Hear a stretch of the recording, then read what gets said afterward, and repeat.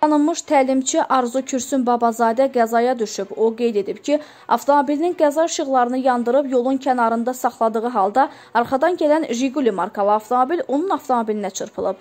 Avtotəlimçi Oxaza bildirib ki, hadisə Bakı-Sumqayıt yolunun Ceyranbatan su anbarına keçən hissəsində baş verib. O qeyd edib ki, hadisə nəticəsində xəsarət alan olmasa da avtomobilə ciddi ziyan dəyib.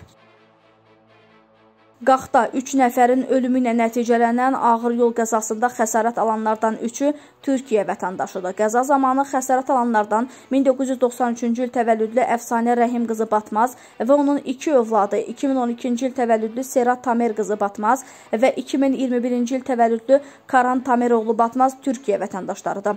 Qəza zamanı 6 nəfər xəsarət alıb. Onlara Qax rayon mərkəzi xəstəxanasında lazımi tibbi yardım göstərilib.